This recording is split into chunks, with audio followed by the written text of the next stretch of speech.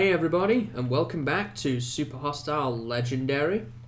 And in today's episode, we're going to continue exploring the floating shards here. We started this in the previous episode, and we kind of got up to the top there. We had to stop because we ran out of time. We found some random loot chests, and we've spied some ruins from a distance. My objective today is to try and locate more of these ruins and explore some of them if we can. Uh, topped up on supplies, drop things off. I'll come back for that. So this is the last place we got to, was up here. And I wanted to go straight across for that there. But before we do that, I'm just going to continue down this way and see where this brings us out at. Continuing what I did in the previous episode. Just exploring, filling in areas. I'm going to need to make a few more torches, but that's not going to be a problem. Got plenty of coal and I can pick up more if I need it. suppose I could get rid of this. And we've got a stone pickaxe available to us. Yeah, there's some coal that I could grab really easily from here.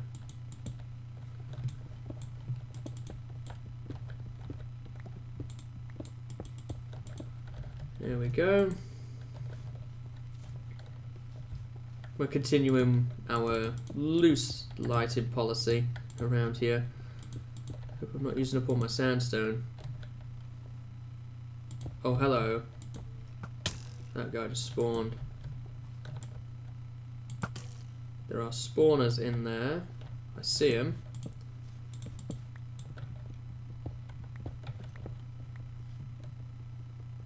Skeleton. Oops, that's my bow.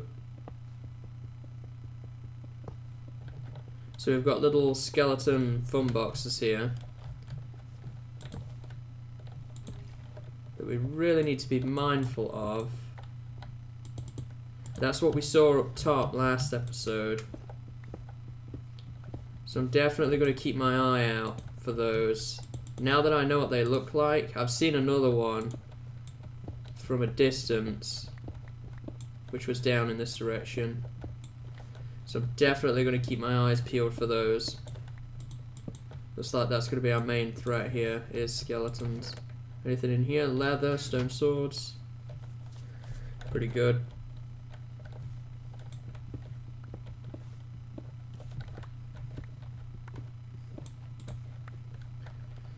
Armor will be doing okay, so we don't need to worry about that at the moment.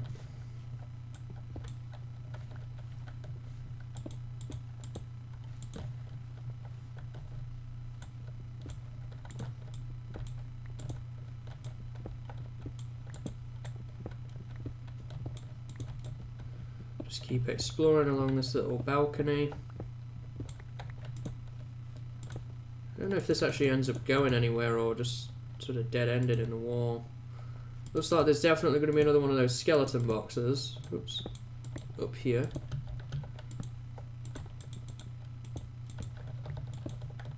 So you have to be mindful of that.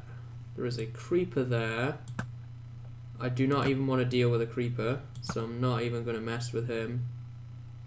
That skeleton went down. I don't know if he can get back up or not.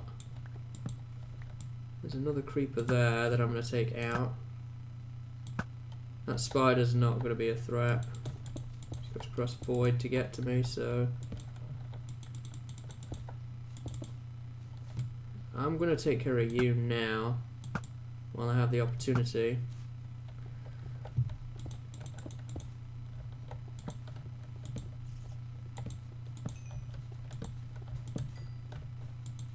Oh gosh, some lag there. Oh, let's stay away from the edge at all costs. Because that is not safe. There's a chest there. Dang, how am I going to get to that?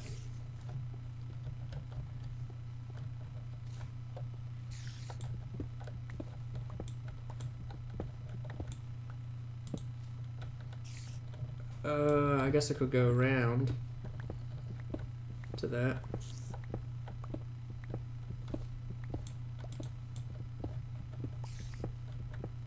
Is this my last pickaxe? It is, so I have to go and make some more. I have wood though. No stone though. you, I'm gonna shoot. Because I've got arrows and they're renewable.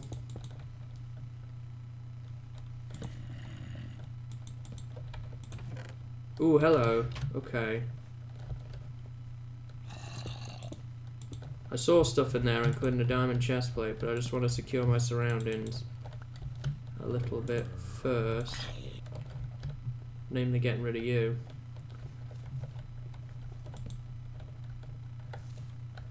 Alright, we're going to back to a war here, so we're pretty safe. We're not totally safe.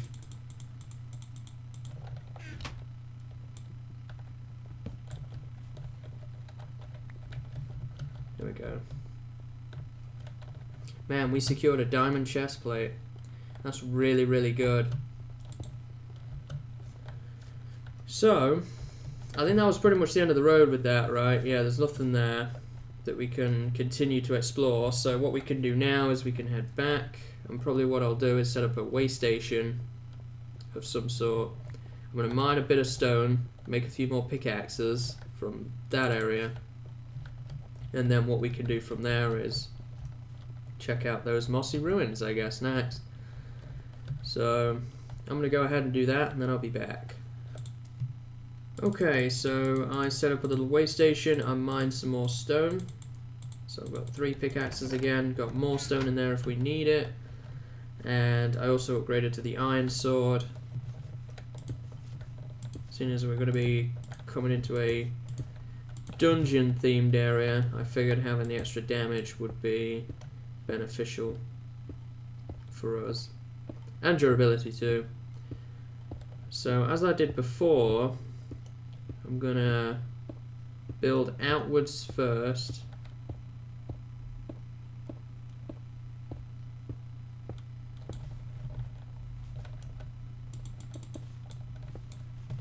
There we go. And then I will add the railings. And we've still got tons of sandstone left to do this, so not going to have a problem there. Sun looks to be setting, so we're going to have to keep that in mind. I do not have any wool, and I do not have enough string to make a bed. I could probably get enough by mining some of these cobwebs, though.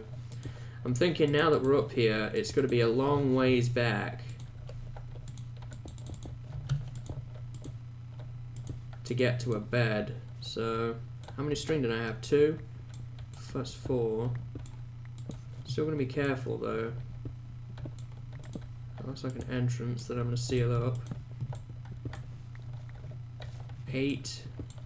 That's nine. Just throw some quick torches on this.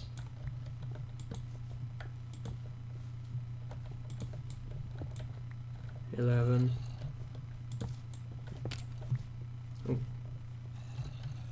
Okay. I hear mobs in there, but that's okay. As long as they're in there, I'm I'm fine with that. Okay, good to know. So yeah, what I'm going to do now is I'm going to get back here.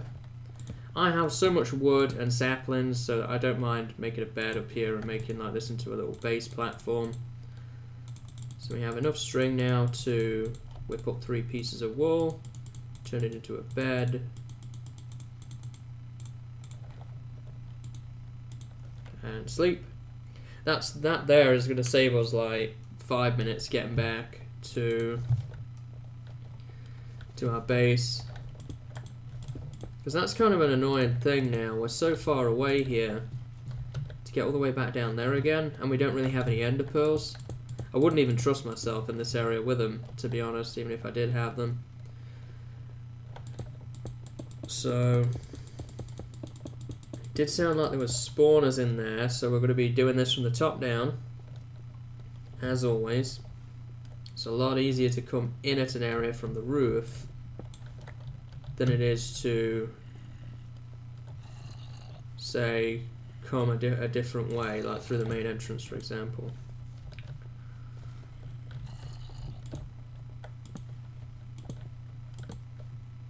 There we go.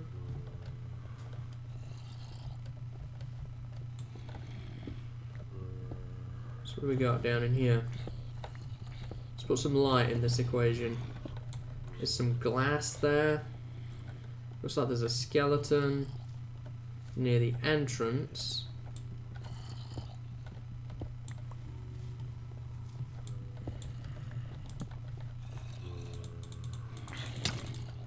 Hello. Out.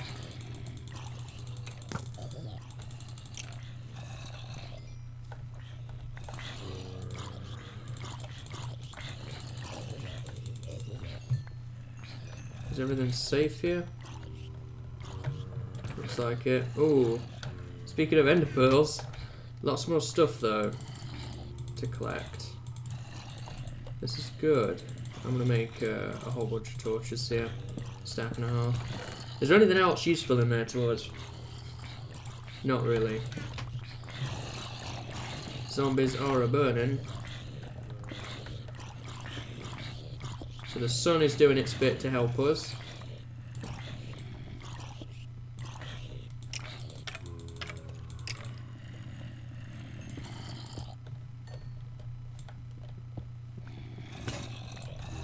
End of that pick.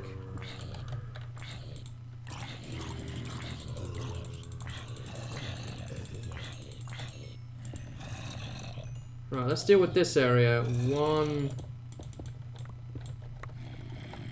direction at a time.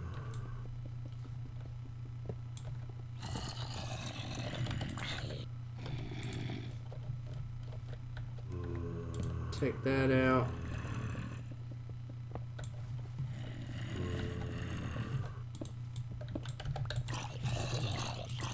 There's a chest in that one. Some iron ingot there. White wool, yes. So we've got another piece of wool for the monument. Let's take care of these guys. So this must have been the wool dungeon then.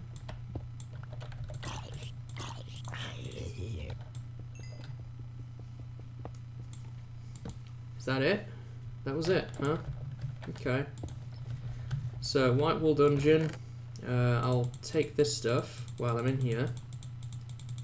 Save on time. Coming back for it later. So I'm going to run this back now to my temporary base. And where do we need to go next then from here? Now that we've explored that, is there anything more to this? Or is this just kind of like decorative stuff? Just looks decorative. I guess the next thing we're going to need to do is kind of go over there and then down, I'm assuming. Unless there is another way to it.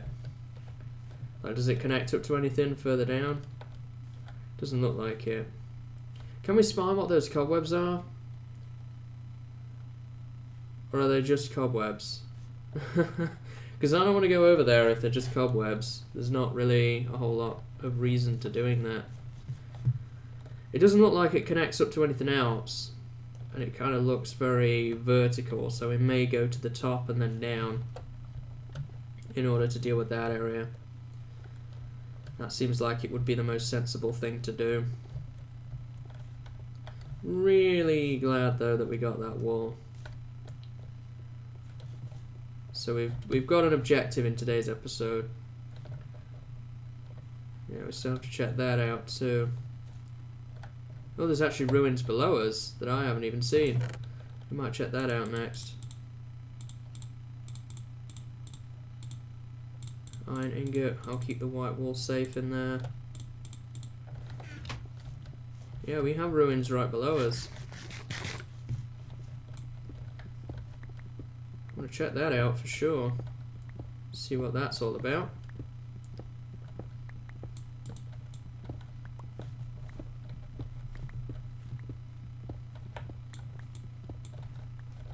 Close are we? Not very close, it seems. It did seem like it was like all the way at the bottom though, so... Hopefully it's got some good loot for us. Oh, and look, we finally hit level 50. How about that? More stone. I'll take that. Aha, it's right here.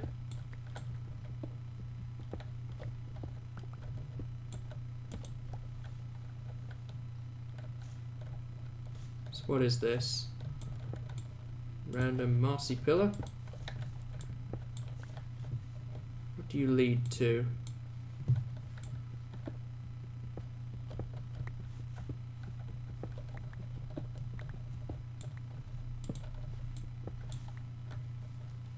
Is there just a random mossy pillar here? Is that it, really? There's nothing else to this. Fill that in. I mean, there's ruins further down.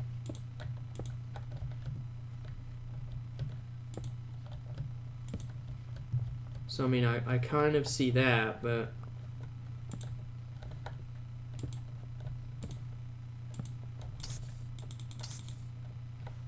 Bye-bye. Yeah, I guess that was it. It was just a ma random mossy pillar, I guess. Um, oh well, I suppose. Um, how did I even get to here? Now, there's a question. So I guess we, as a constellation prize, we got more stone. Which, you know, is good. We've been needing that. I was just hoping for something a little bit more to that. So that's worthwhile noting then that not all the mossy cobble indicates actual ruins. It could just be used to mark off stone and things like that from different angles.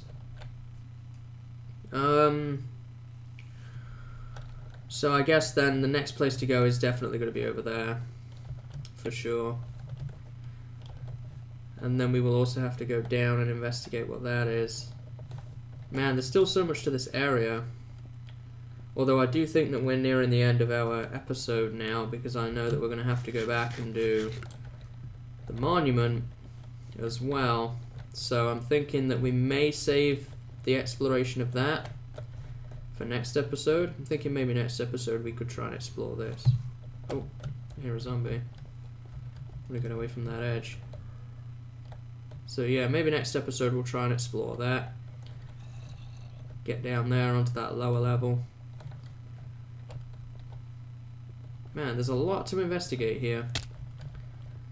Lots to investigate, but still, I'm having a fun time. It's pretty cool. I guess I'll transport some stuff back that I want.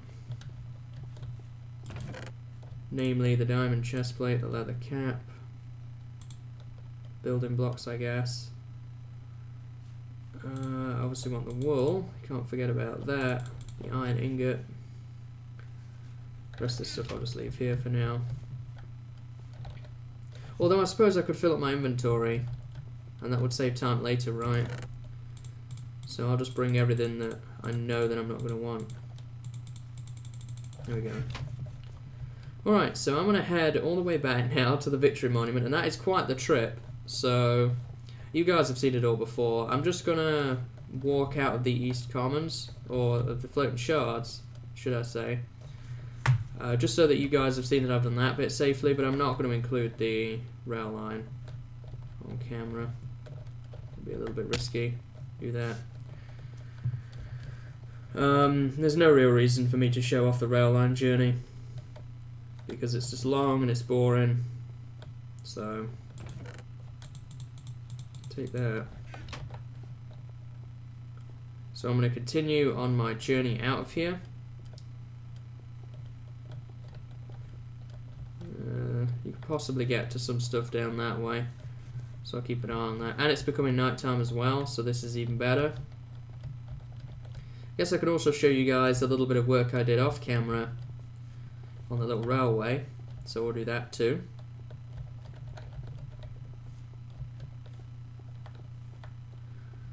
I'm not sprinting, by the way, to conserve on food. I'm trying to, you know, because I'm not in an area where I'm actively growing food, to make it last as long as possible. And if I run around everywhere, then we're going to have no food left. So stuff that I could drop off in here, rotten flesh, nether wart, mossy cobble, various tools, bricks, bone. Gonna need to come back with more coal. Need a minecart. So yeah, we're gonna need to come back with more coal to make more torches with. Good to know. So, let me get my minecart in hand. And I'm glad I'm getting all these stone bricks too, because I wanted to build a furnace room using them. So having access to them in decent supply is going to be important. And I don't want to have to resort to smelting cobblestone that we already don't have a lot of for tools in order to do that. So yeah, I added this little button here. Oops, doesn't doesn't power what we want though. I thought it would. That's strange. Doesn't power it from there either. How odd. Okay, well, that's fine. We could just do it there then, I guess. You know what? No, do not go down there.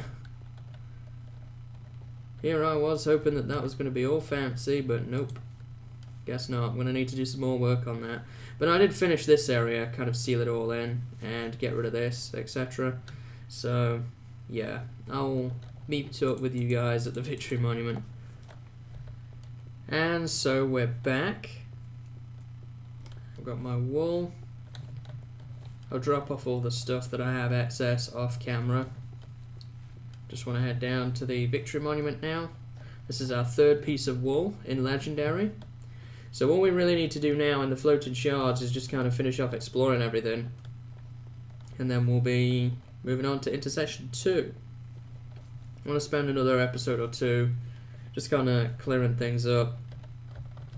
I'm thinking though, if we haven't done the area completely by the end of next episode, then I will kind of just, you know, montage through the remaining bits. And if there was anything interesting, then I will let you guys know. Because otherwise, then four episodes on one place is is a lot. So, anyway, without further ado, on a three, two, one.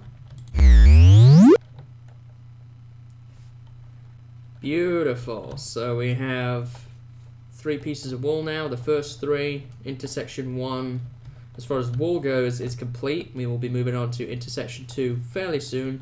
I just want to finish off the floating shards and explore the remaining ruins, pick up the remaining loot, etc., etc., which we will try and do next episode. And then we will move on to the next three, which I assume is intersection two. Although we didn't find one, did we, in the Caves of Confusion? So I guess there's only two in intersection two. Painwater and I think Castle, uh, some some other castle uh, that we have to explore. And then it'll be on to intersection three, which is just through there. So I hope you guys are enjoying. I know I am. I'm having a ton of fun here. Glad to be back in Legendary. And I hope to see you in the next episode. So until then, see you later and have a good day.